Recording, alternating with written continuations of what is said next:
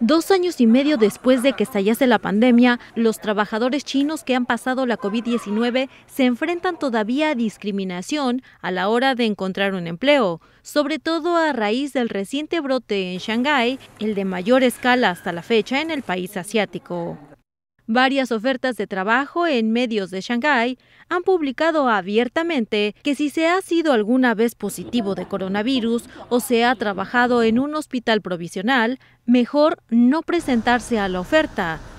estos requisitos también aparecen en anuncios de puestos de trabajo temporales para grandes empresas como la estadounidense Disney, en fábricas de la electrónica japonesa Omron o del mayor ensamblador mundial del iPhone, la empresa taiwanesa Oxfam, lo que ha desatado la polémica en las redes sociales chinas. Profesionales como el inmunólogo Xuan Xile citado por medios locales, señala que no es raro que una persona ya curada de la COVID vuelva a dar positivo tras haber recibido la alta y normalmente se debe a residuos del virus en su organismo.